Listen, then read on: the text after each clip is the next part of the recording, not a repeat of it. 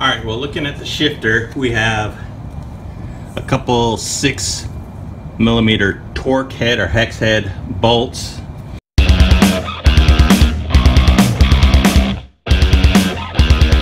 And I'm not worried about keeping this shifter. I got a new shifter, as I said, so let's get these bolts off.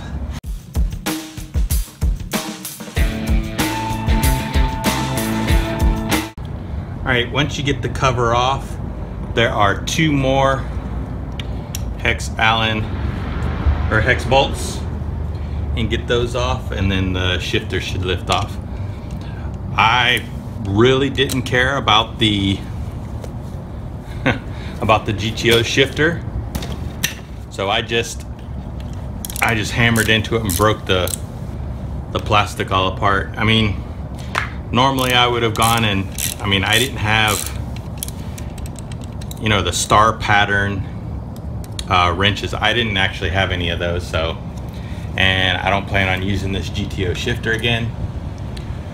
So I'm not worried about it. I'm just gonna uh, get it off and uh, toss it into the trash. All right let's finish getting off this last one. Kind of wanting to be right shifter is wanting to be right in the way. There we go. And as you can see, the, the center housing is, you know, right here. And let me drop this down a little bit. I mean, center housing's right there, and this is this much further back. I'm not sure if a like a, a 6060 would be a 6060 with a GTO shifter. Maybe maybe that would work. I, I don't know, but I'm using T56. I know the 6060 is a lot stronger, but everything I read is shorter, so that's why I went with this one. And the fact that it came with the car, which was not too bad. All right. This should just lift right out when I get this last bolt off.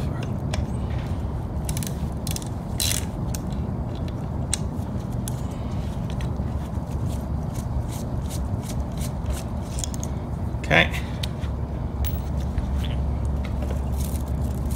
There we go. So you got the gasket. This actually, this gasket actually still looks pretty good. Probably clean it down and check it out for any cracks or anything like that. But I mean, probably just end up buying another one. But what I, what I was referring to is this cup here.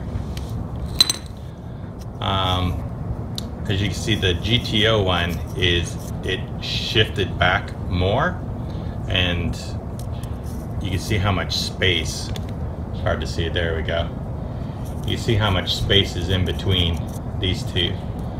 I'm gonna get a roll pin knock this one out and then put the new one in. But let me uh, let me get this one out and then I'll show you a comparison of the GTO one versus the Camaro one. Again I got my eighth inch roll pin punch. Stick it right in the hole and try to knock this roll pin out.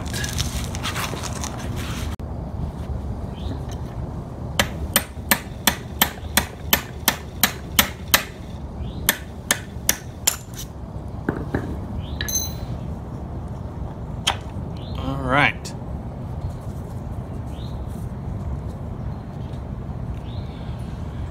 There we go. This is the GTO one. Let me show you, let me go show you the difference.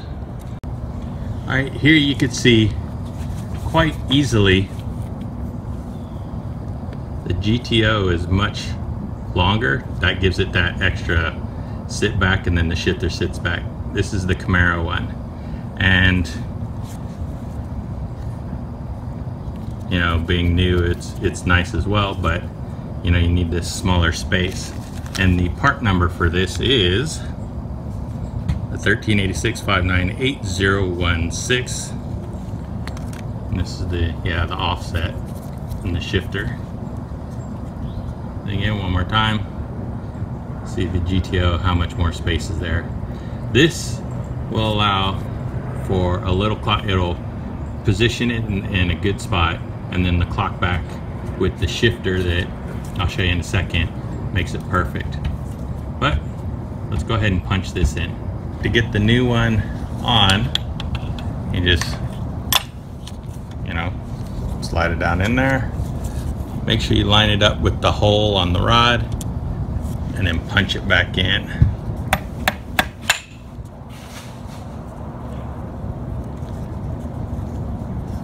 Not quite as easy not quite as easy as the as the sleigh, but let me uh, let me get it in there.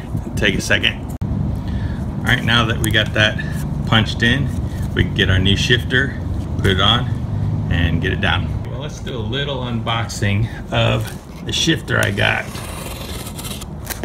I haven't opened this yet. I know I'm opening it upside down I don't need to telegraph my address everywhere. All right.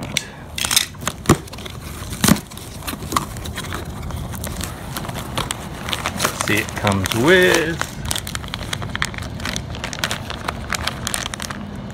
Okay, got the, it's the rod, some gasket maker.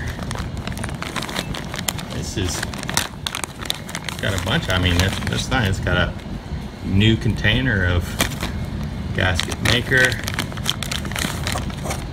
It's got the short shift knob.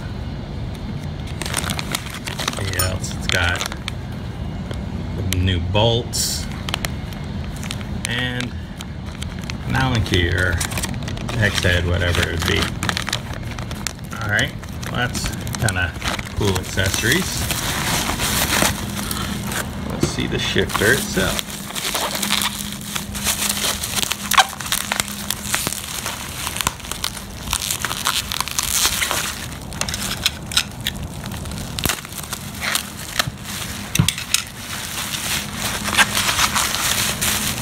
I mean, this is pretty heavy. Feels pretty good. All right. That's pretty nice. Already clocked at six, or already clocked six o'clock.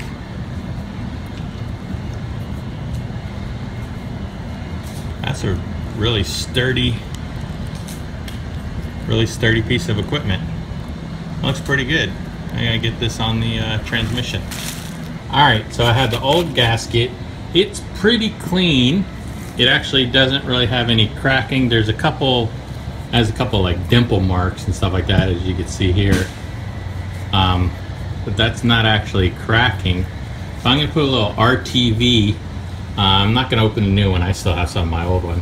I'm gonna put some RTV on, uh, or gasket sealer on both sides, and then put this on and put the shifter on. I'm using the uh, supplied bolts they have have a washer and a locking washer. So let me go ahead and get uh, some gasket sealer on that and get it set on the uh, on the transmission. All right, I'll go ahead and put a, a light coat on the top of the gasket. And then once I have it on top of the gasket, I'll put a light seal on top of the transmission and then I'll place it down and put the shifter on.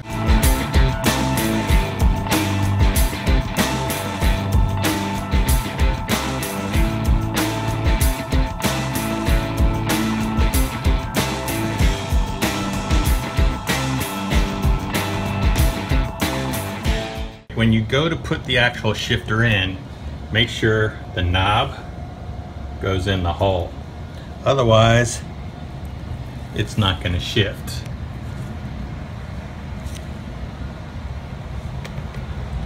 All right, and let's get this bolted down and see if it shifts.